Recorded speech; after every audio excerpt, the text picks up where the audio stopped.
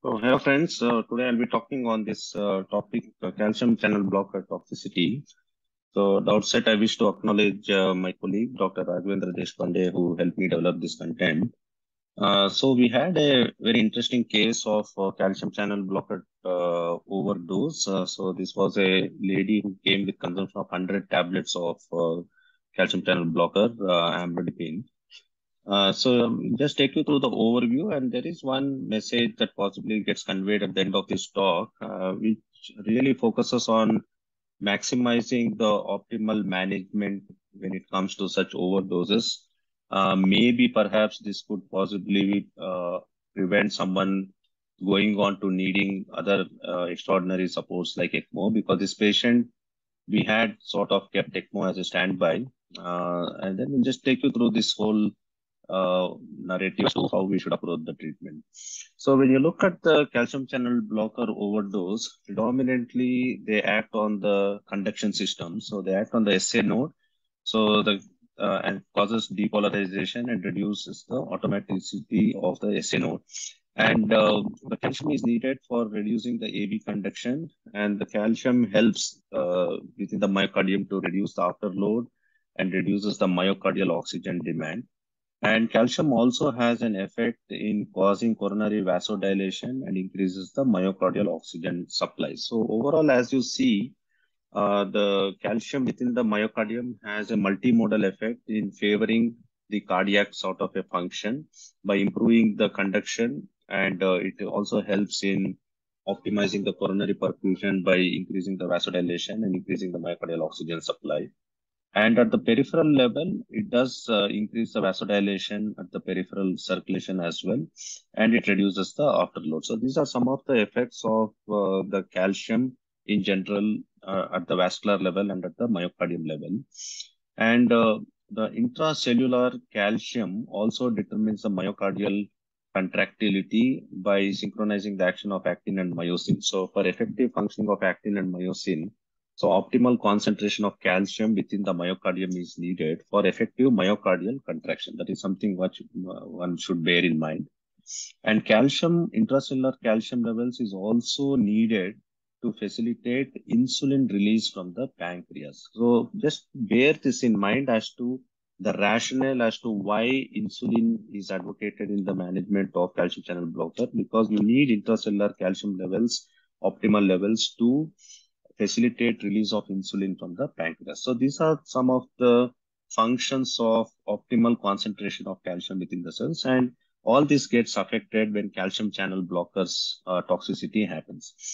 So when we talk about dihydropyridines, which is typically amlodipine, cilnidipine, so the predominant effect of these is by causing severe vasodilation. So this dihydropyridine, the major catastrophic effects happens due to profound vasodilation and hypotension that ensues. Uh, so other calcium channel blockers like verapamil and diltiazem predominantly act on the conduction system and leads to conduction disturbance. So if, if, if a patient comes with an overdose of verapamil or diltiazem, the predominant effect would be the conduction blocks, bradycardia, asystole, and so on and so forth. So conduction disturbance will be predominant. But if someone has come with an overdose of dihydropyridine, predominant vasodilation and hypotension so the patient we had had come with 100 tablets of taking amlodipine. So they predominantly have hypotension and conduction disturbance may not be that profound. And uh, with verapamil and diltiazem, obviously bradycardia and conduction blocks and escape rhythms is something that one can see. So a lot of conduction abnormalities with bundle branch blocks and uh, conduction disturbance is something that one can witness. So when calcium channel blockers interferes with mitochondrial function, leading to ATP hydrolysis and leads to increase in the lactate production at the mitochondrial levels. And when there is a calcium channel blocker toxicity, uh, it causes reduction in the insulin release, which, as I said, intracellular optimization of calcium is needed for optimal insulin release. So when there is a calcium channel blocker toxicity, there's reduction of the insulin release from the pancreas and it, it, leads to insulin resistance and hyperglycemia is something that one can witness when there is a CCB overdose or toxicity. So these are some, so basically you would have conduction disturbance. If it is dihydropyridines, it causes profound hypotension At the mitochondrial level also, it interferes with the mitochondrial function. So they can have lactic acidosis, increased production of lactic acid, and there is reduced production of insulin, insulin resistance, and hyperglycemia. So these are some of the vicious conundrum that you would see in someone with calcium channel blocker toxicity. So the clinical feature, the onset of uh, clinical symptoms starts at two to three hours and can last up to six hours. So when there is a sustained release medications that taken that gets taken, uh, so the clinical features can manifest up to 16 hours. So the typical clinical features is due to the hypotension that sets in. So they can have dizziness and lightheadedness, and they can have altered mental status uh, secondary to hypoperfusion and low cardiac output state because of profound vasodilation and hypotension that happens. So hypotension is a uh, expected sort of a clinical features, quite intuitive. And if there is um, uh, conduction disturbance, uh, they can have bradycardia and cardiogenic shock is something that can manifest. And as I said, uh, calcium channel blockers inhibits the release of insulin from the pancreas because there is reduction in the insulin, hyperglycemia, and metabolic acidosis, lactic acidosis, due to ATP hydrolysis, due to mitochondrial dysfunction can happen. And hypokalemia and hypocalcemia are some of the uh, clinical features that one could expect. And uh, in ECG, there could be varying conduction abnormalities from bradycardia to different types of blocks and to complete heart blocks, on and so forth. So you can see any of these disturbances as clinical features. So when it comes to treatment, uh, so the TNETs of any toxicity would be airway, breathing, circulation. If someone is very obtunded, obviously you need to take care of airway and ensure that someone is breathing adequately. If they're not breathing, then you have to assist them with their breathing with bag and mask ventilation and assess the circulation. And someone comes with calcium channel blocker overdose, they need to be connected. They have to be indefinitely in ICU because they need to be connected to cardiac monitor. You need to monitor heart rate, saturation, and blood pressure and so on and so forth. And history is very important. It is good to ascertain the history, whether they have taken uh, immediate sort of an acting calcium channel blockers or sustained release, and whether it, this has been co-ingested with other medications, and the lag time before which patient has presented to you, uh, because that determines as to how much absorption has happened. So the his so historical sort of inputs with pertaining to these uh, elements has to be taken into consideration. And cardiologist's opinion may have to be taken because some of these patients with conduction disturbance may need uh, transvenous pacing or balloon pump. So input from cardiologist uh, is valuable. And atropine as a drug to treat any bradycardia or conduction blocks is generally ineffective. So they are not something that is routinely recommended in these patients. So may not be very effective in calcium channel blocker overdose. And whole bowel irrigation uh, is something that has found to be useful in calcium channel blockers, and that is something that needs to be considered. And alkalinization of the urine and hemodialysis, it is not dialysable. Hemodialysis, hemoperfusion are of no benefit with calcium channel blocker.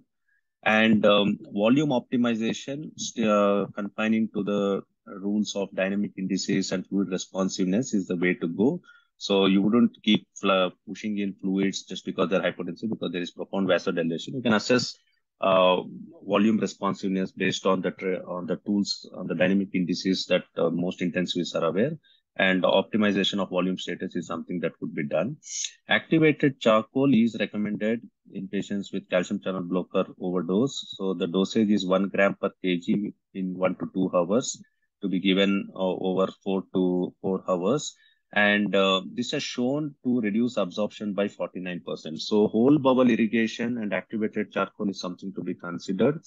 And this could be repeated when there is a severe uh, sort of an overdose. It could be repeated at 0.5 grams per kg every two to four hours. Uh, based on the uh, on the severity of the CCB overdose. So whole bowel irrigation and activated charcoal at this dose is something that could be considered as soon as they present to ER and preferably within one to two hours, the efficacy would be maximal. And uh, this, this could be repeated based on the bowel function. Uh, because if someone is in ileus or bowel distension, obviously this is something which you would avoid. So, so this is some of the immediate resuscitative measures that one could put in place. So how about the role of calcium? So as you see pictorially, as you can see, calcium channel blocker blocks the calcium channels, L-type calcium channels, and there is prevention of entry of calcium through the channels. So the rationale for giving uh, intravenous calcium is some of the channels that are open. So if there is increase in the extracellular presence of the calcium, this could be utilized in certain L-type channels that may be opened and this uh, function could be optimized is the rationale. So calcium chloride is something that could be considered and it is shown to improve hypotension and conduction abnormalities. Calcium chloride is preferred over calcium gluconate. So the dose is 10 to 20 ml every 10 to 20 minutes, three to four doses, it could be repeated. And this, since it is a short acting, infusion could be considered at 0.2 to 0.4 ml per kg per hour. Uh, so is uh, something that one could consider in calcium channel because it, the whole intent is to increase the extracellular calcium because any of the channels which are not blocked, uh, uh the optimization of the calcium entry could be facilitated by increasing the calcium levels.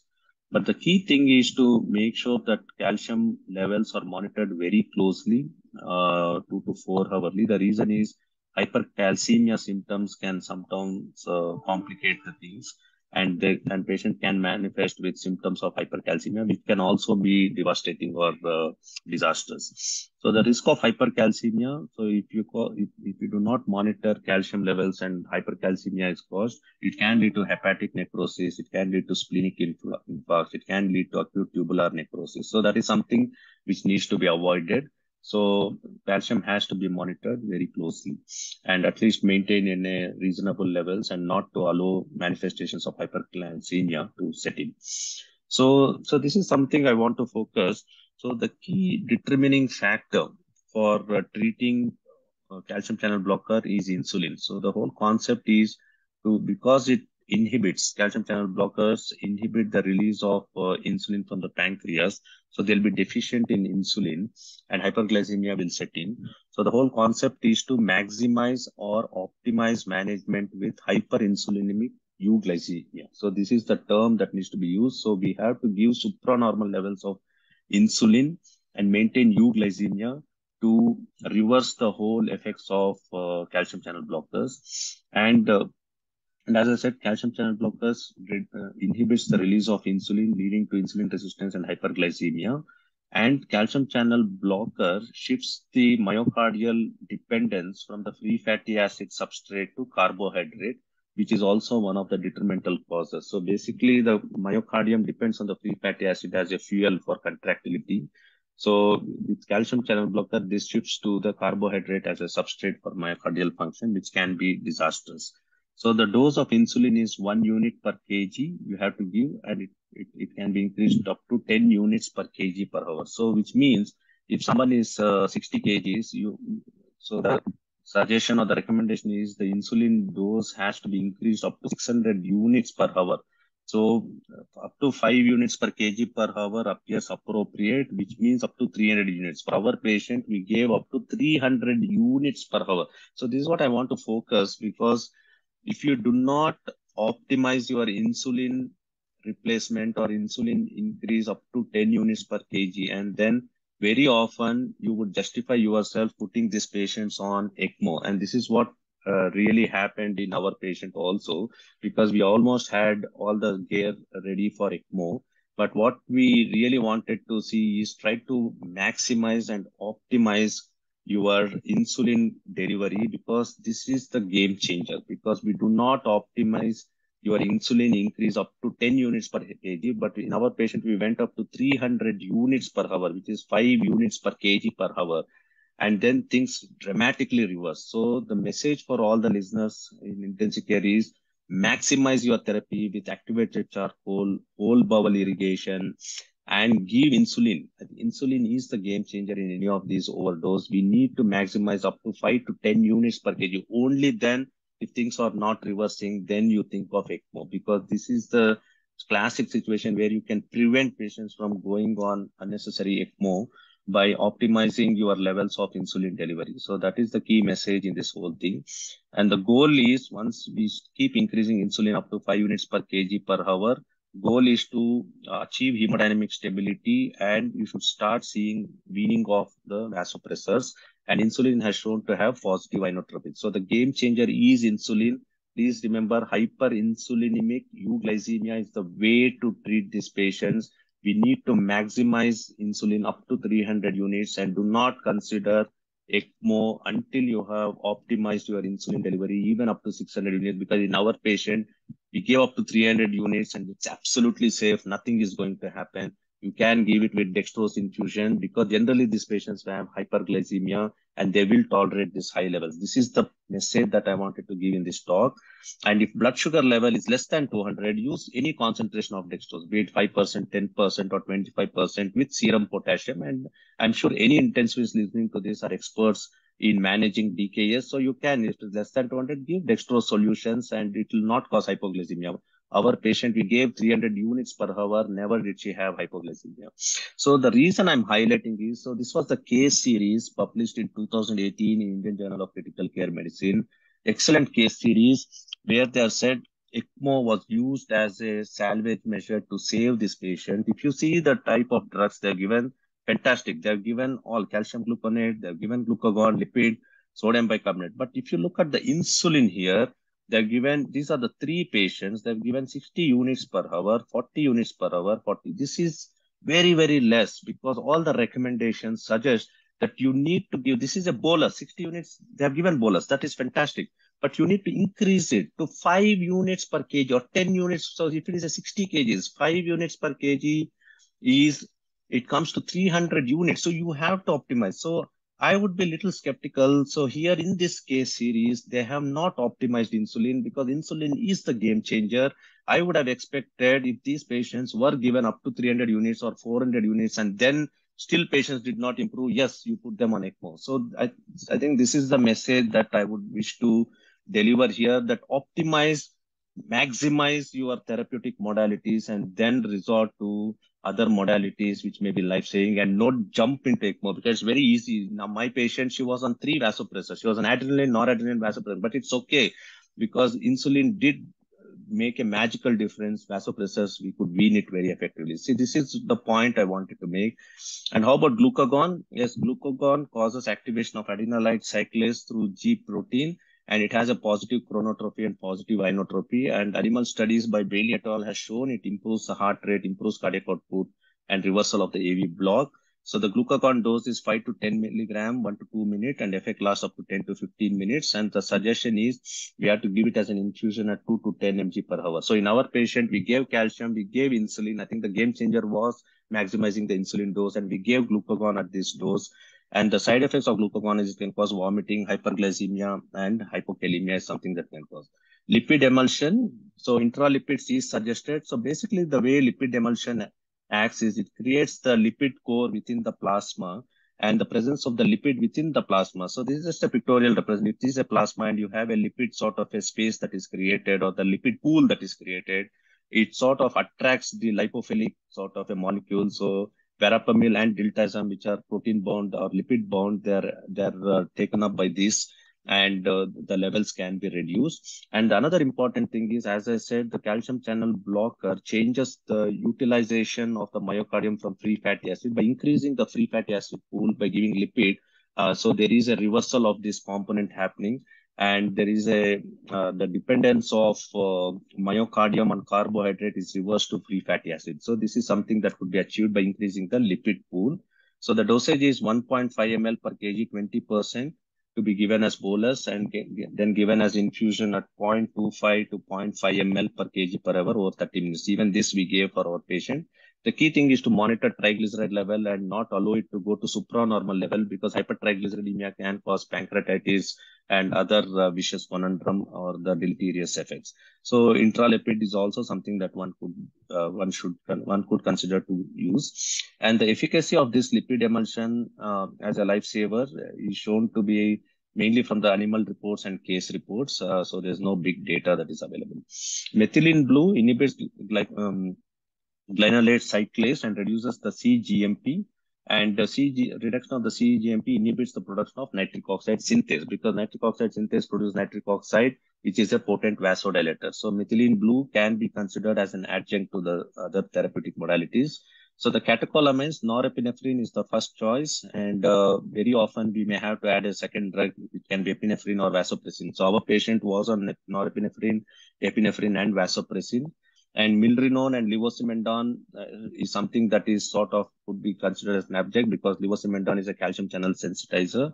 Uh, but we we didn't have to use any of this. Uh, so our patient was on norepinephrine, epinephrine, and vasopressin, and this was rapidly weaned once we started going up on insulin up to 300 units per hour. So, and methylene blue is only an adjunct to other measures. So if all this fail, so you have maximized the insulin, then glucagon as a bolus, glucagon as an infusion, calcium as a bolus, calcium as an infusion, lipid, all this, and you have maximized insulin up to maybe 500 units per hour, 600 units per hour, still your inotropes are not coming then definitely you have to think of other non-pharmacologic support like pacing, uh, balloon pump, and ECMO is definitely the way to go if you have maximized on all these therapies. So the only point I'm trying to make here is the case series that was published as we see that possibly perhaps we could have gone up more on insulin. So here in our patient at 40 units, she was on three vasopressors. And once we started increasing, we saw a dramatic sort of a uh, shift with lactates coming down and with insulin levels coming down. We had all the ECMO gear set up next to the patient. But uh, we were delighted to see once we went up to 300 units hour per hour, things uh, dramatically started changing, vasopressor started coming down. So that is the only message that I wish to deliver through this talk. So the summary of this talk is the management predominantly depends on having a protocolized approach, calcium chloride, give a 10 to 10, 20 ml uh, every 10 to 20 minutes up to three to four doses, followed by initiate the patient on norepinephrine and epinephrine, and maybe you have to add vasopressin, which needs to be titrated to the response. And following, you optimize the volume status based on the principles of fluid responsiveness. Following which, give glucagon 5 to 10 milligram or 1 to 2 minutes and give it as an infusion at 2 to 10 milligram per hour. But the game changer keeps wish to re-emphasize it's the insulin. One unit per kg you give bolus if 60 you 60 kgs person you give 60 units but following by infusion at not one unit per kg which is 60 units per hour as the case series showed increase up to 5 units per kg or even 10 units. So here our patient was around 60 kgs 5 6 or 30 300 units per hour we gave and things changed and fat emulsion, you can give at 1.5 ml per kg at 20%, followed by 0.25 to 0.5 ml per kg per minute or 30 minutes. And all this fail, you could think of uh, mechanical support like pacing and mainly ECMO remains the gold standard at this point of time. So thank you one and all. So I went with this beautiful quote. I like people that I can trust with my eyes closed and my back turned. So if you wish to rehear to this lecture, you can visit my website www.com and rehear to this. So thank you, Madam